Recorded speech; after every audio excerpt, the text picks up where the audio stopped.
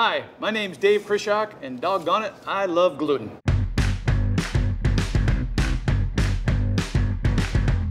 What we're gonna do is after we round these dough balls, these dough balls will be retarded or refrigerated overnight. We're gonna put them in a dough tub. In this size dough tub, that's about the, the capacity. Leave a little room in between, then cover it. Just ensure that they stay nice and moist in the retarder. The big problem some people do is they may do four or five tubs and then they stack them all on top of each other. It doesn't have enough time to cool down. So what I suggest is spread them out in the retarder because you want them to chill down just as fast as possible.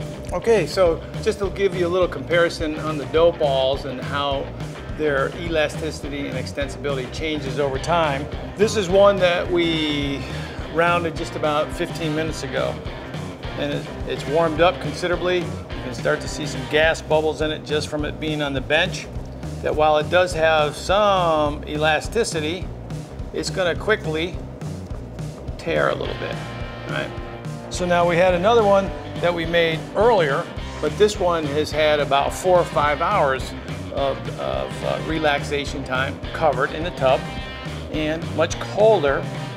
And I'm able to actually really pull the gluten film on this one that you can almost read Grain Craft through. And then to compare that to the third one, now this is a dough ball that's at about 45 degrees. This is one that was made yesterday, so it's had about 16 hours of fermentation time in the retarder.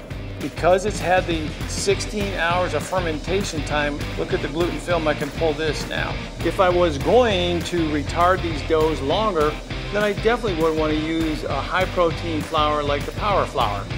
Why? Because of that biomechanical uh, fermentation that occurs, just requires a little bit stronger flour. But look at the gluten film I can pull on this this dough is just incredibly extensible.